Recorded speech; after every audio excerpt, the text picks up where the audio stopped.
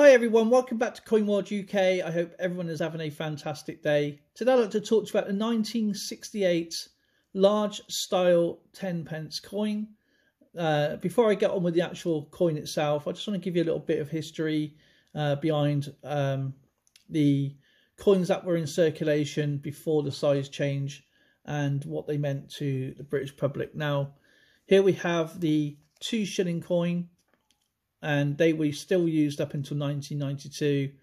Uh, before decimalisation day, which is on the 15th of February 1971, these were 12 pennies to the pound, so one tenth of a pound. And uh, just turn the coin over, you can see the Tudor Rose, the uh, Shamrock, the Leek, and the Thistle there to represent all three uh, countries uh, England, Ireland, and Scotland and uh, and Wales, of course.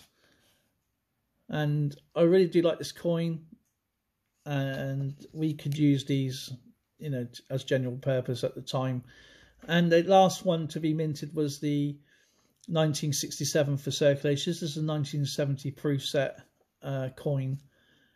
And here we have the 1968. You may be wondering why decimalization was in 1971, but they produced these early to, so the public can get use to the new coins. So this ended up being um, a two shillings for a short while until, of course, 1971.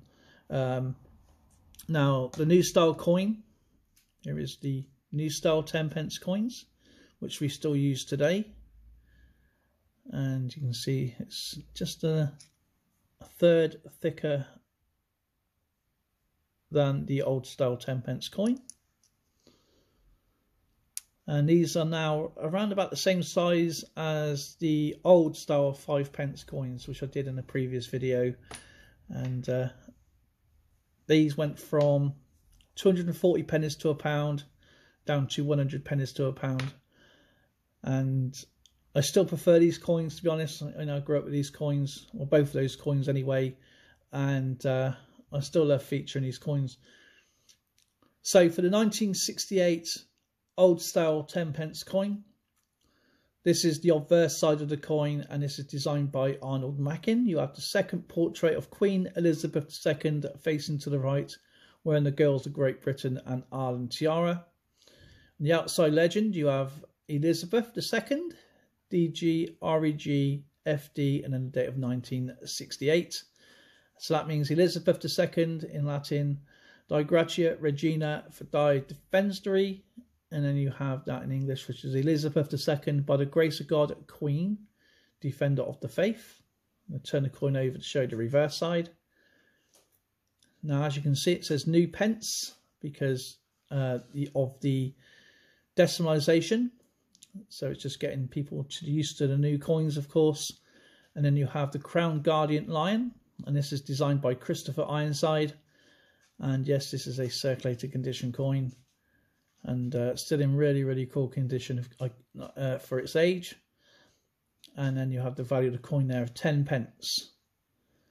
And for the 1968 10 pence or large 10 pence coin specifications, the edge is reeded or milled the weight of the coin is 11.3 grams. The diameter is 28.5 millimeters. The thickness is 2.25 millimeters. The composition is cupro nickel, copper nickel. It's minted in Manchester, Wales, United Kingdom. And the mintage figures for this coin when it first came out was 336,143,250 coins were produced, of course, and uh, absolutely beautiful looking coin for its age. And I will leave all the information in the description box below. Uh, so if you're new to collecting British coins, uh, you can grab all the information you can there, of course. And hopefully, my information helps you guys. And uh, please don't forget to leave a like, subscribe, hit the notification bell, leave a fantastic comment, guys. It really helps my video. And uh, whatever you're up to, have a safe day, and I'll see you all in the next video.